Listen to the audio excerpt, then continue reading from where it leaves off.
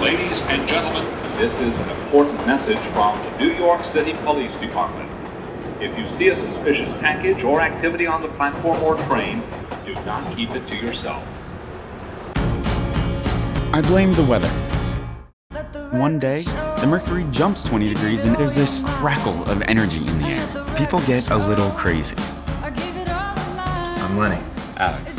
I asked him to come home with me, and he says no and asks for my phone number. I wish I were a gay man sometimes. Do you know how many bad nights I could have saved me if we could have just gotten that out of the way before dinner? Okay, yeah, but we had an awful dinner. Did you just fart? That guy is out of your league. You underestimate me. Nice job. Do you want a tag team? I think I got this, thanks. My last boyfriend was like boyfriend, boyfriend, boyfriend, boyfriend, boyfriend, boyfriend. Maybe you should talk to him about what your expectations are. Who the hell knows what they want? Ambivalence is the new gay disease. Your boyfriend's on the phone. Did he say his name? Reese? Is it Reese? Or Lenny?